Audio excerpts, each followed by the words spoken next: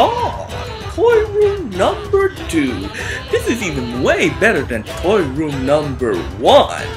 It even have more stuff and the room is much bigger.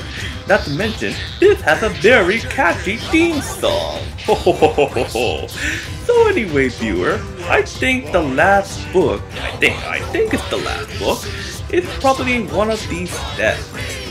Do you want to go the left or right? Or maybe the front with the stairway? The long stairway you're gonna take probably could be, but I don't know. You have to choose by yourself. Beware, you don't know where you're ending from.